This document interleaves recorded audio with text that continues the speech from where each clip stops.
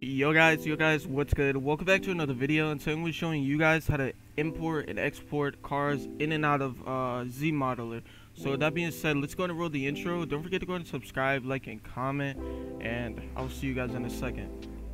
Huh? Packing the mail, it's gone. Uh, she like I smell cologne. Yeah. I just signed a deal, I'm on.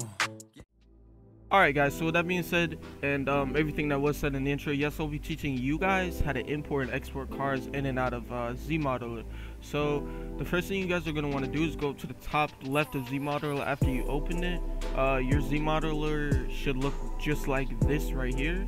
Um, if it doesn't, you probably have an older version. It's still, I don't know why you'd have an older version. I'm pretty sure it updates. But anyway, if you do, some reason, oddly, um, pretty much just it's still the same area just the top left uh, go to files. Um, after you go to files uh, click import. Find the location of your car. Um, wherever you've got the source of your car you should have a folder um, with your two files in it. Um, it should be a high file the regular car name and you should have a YTD which does not pop up unless you add the um, thing separately Alright, so if you add it separately, then that's a whole different deal. I will show you guys how to do that. Okay, so you're gonna click on the the high file. Then there's this thing all the way down at the bottom, add. Okay, so what you're gonna do is find the location of your car again, and it'll be right there in the same folder without the other files. So you're just gonna hit open and then import. Now the car should import something like this with a whole ton of like uh, nodes um, I'm pretty sure that's what they call them. Uh, yeah, yeah, nodes. But anyway, besides the point.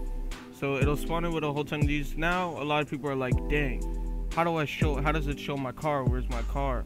That's very simple to fix. Uh, go up to the top right and LO. Bam. Now your car popped up, alright? That is how you import cars to uh, Z-Modeler. Um, and let's let's uh, show you how to export them now go go back up to the top left.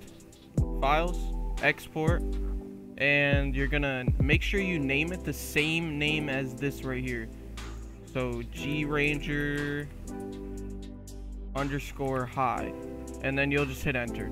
After you hit enter it'll pop up it'll replace the old um car and it'll put this new one in that file and bam. Now what you're gonna do is after you export it it's just gonna exit that out. You're gonna change the name of the car to G Ranger this is literally how you get the other file. It's so simple. All right export um, G Ranger bam now you got the other name. Export and you are done. This is how you export and import or import and export whatever you want to say it however which way. This is how you do that. Don't forget to go and subscribe like and comment guys. I'll see you on the next video peace